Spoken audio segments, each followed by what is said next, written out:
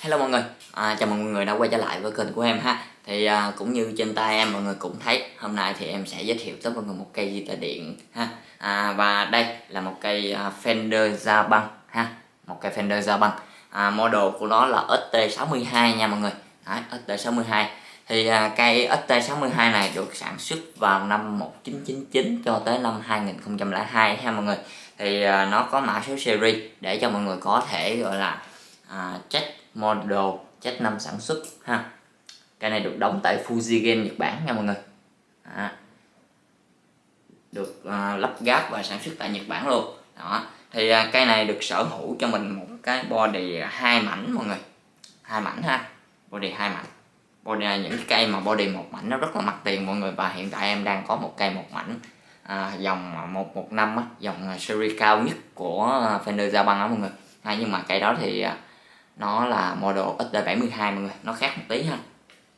Thì đây là một cây à, XT62 thì để cách để nhận biết một cây XT62 rất là dễ mọi người là ở mặt tút của nó là mặt mặt gỗ nè mọi người.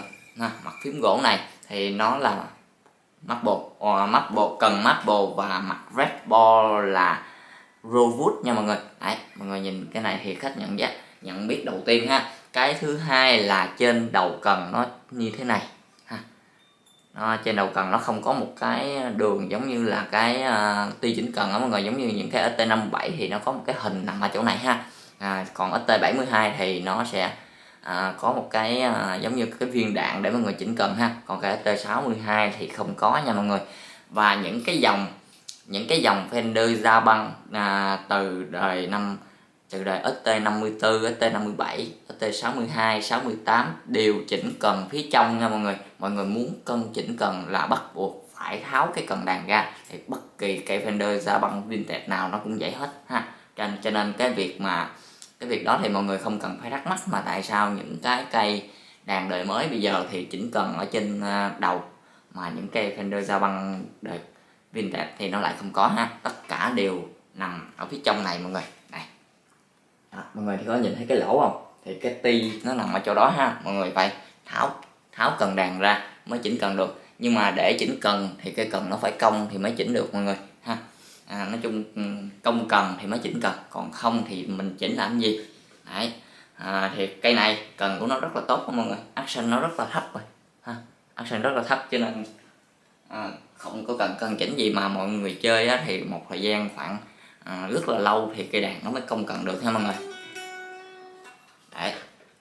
Rồi đặc biệt thêm là cây Fender ST62 này được sở hữu một cái bộ Fender bích cúp uh, à, bích cúp một cái bộ bích cúp Fender Vintage USA ha mọi người.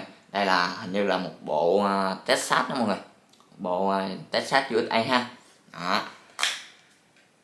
Đấy uh, Fender thì uh, đặc trưng của nó là như vậy rồi mọi người ngựa nè yên ngựa cũng có để chữ Fender ha đó yên ngựa có chữ Fender cho nên mọi người không cần phải lo ha về mặt ngoại hình thì cây đàn này có một cái màu gọi là màu xanh bết mọi người ha màu xanh bết là à, ở Việt Nam thường hay gọi là màu hoàng hôn hay là màu cánh gián đó mọi người ha.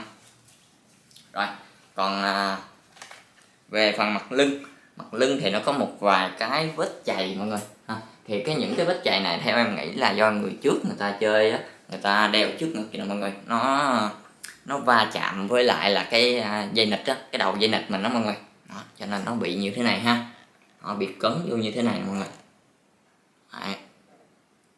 đó, một vài cái vết cấn ha. Em nghĩ là do dây nịch mọi người. Thì cái chỗ này nó gần với lại cái cọng dây nịch nhất. Đó. đeo ở đây là nó sẽ à, đụng tới cái đầu của dây nịch thì nó bị cấn đó mọi người. Ha.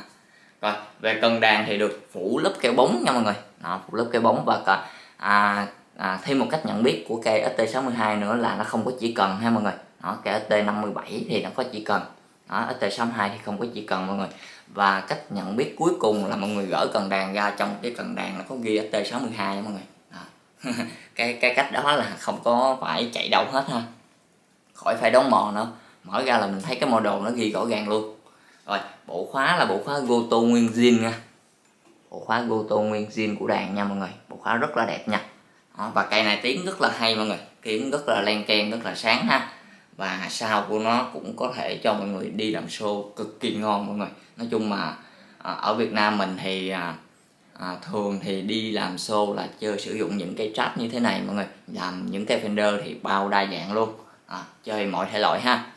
Trap SSS hoặc là HSS đó thì mọi người có thể bào show gọi là à, đa dạng luôn mọi người. Bào tới cái gì luôn á.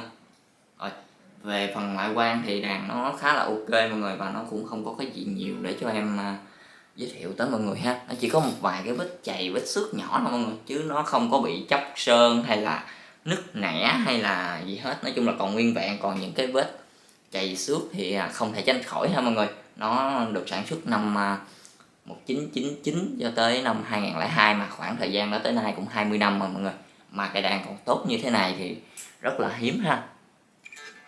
Đó, đàn rất là tốt nha. À, phím đàn không có bị mòn nè mọi người. Phím đàn không mòn không có bị à, thay thế hay là gì hết ha.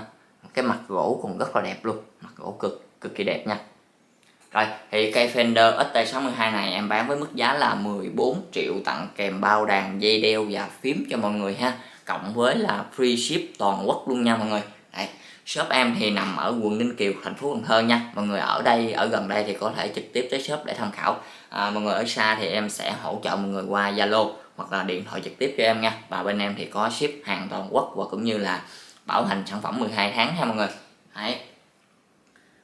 rồi thì à, cái này nói chung mình cũng không có gì để giới thiệu mọi người. Nó khá là tốt rồi. À nó có một cái vết xước nhỏ trên đầu cần nè mọi người thì những cái vết chày xước như thế này thì à, nói chung là cũng không thể tránh khỏi đối với một cây đàn đã à, hơn 20 à, hơn 20 tuổi ha mọi người? Đấy. một cây đàn hơn 20 tuổi mà còn đẹp như thế này thì khá là hiếm ha mọi người. À, rất là gọi là rất là có giá trị luôn. Đấy thì cây này với mức giá là 14 triệu nha mọi người. Và sau đây thì em mời mọi người nghe thử chất âm của cây này cho em test ha. Em sẽ test này từ tiếng clean cho tới tiếng high game cho mọi người nghe thử nha rồi à, và mọi người xem video tới đây thì nhớ ấn like và cũng như đăng ký kênh ủng hộ cho em à, ra thêm nhiều video khác nha mọi người à, em cảm ơn mọi người rất là nhiều ạ à.